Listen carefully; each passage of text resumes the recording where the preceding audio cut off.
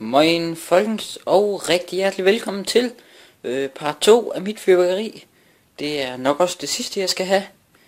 Øhm, jeg har været i Hjemmefix og Harald Nyborg og Royal Fireworks. Øhm, yes. Men hvis vi starter herover, så har jeg en kapelleraket fra Hjemmefix. Ganske fin raket. Øhm, der er sgu ikke noget der. Inden står der raket, der eksploderer i en stor smuk guldpalme, palme, som daler langsomt mod jorden. Så det er vist fint. Der er 69,8 gram krudt i. Øhm, og i forhold til en holdraket med, næst, med 15 gram mindre, der er den faktisk, den er faktisk mindre end en holdraket. Øhm, så det er sådan set ret godt. Yes. Så har jeg et øh, Fata Morgana batteri, batteri fra Harald Nyborg. Øhm, jeg fik min mor og morfar. Øhm, der er øh, 199,5 gram krudt i, står der. Øhm, og det er et super godt batteri, tror jeg. Sådan der. Øhm, det er forholdsvis store kaliber. 30 mm, vil jeg tro. Øhm, jeg kunne ikke lige se, det stod nogle steder heromme. Men øhm, jeg vil tro, det er 30 mm. Yes. Super godt batteri. Jeg har set en video af det.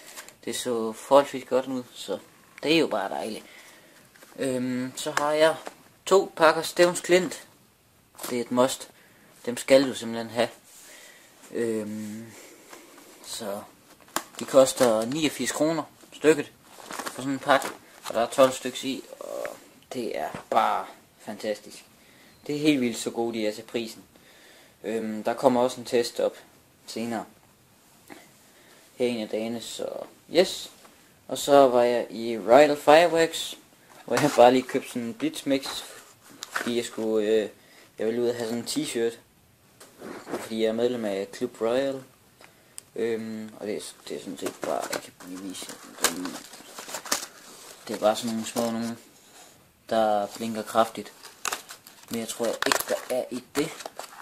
Så jeg kan få lukket dem igen. Yes, og så har jeg 10 kasser hæksyl hernede. Jeg har fyret en enkelt, en enkelt pakke af, og jeg er godt på vej med den sidste her også. Øhm, det er sådan set bare de normale hæksyl fra Hjemmefix. Øhm, de er super nemme at lave om også. Det kan I se her.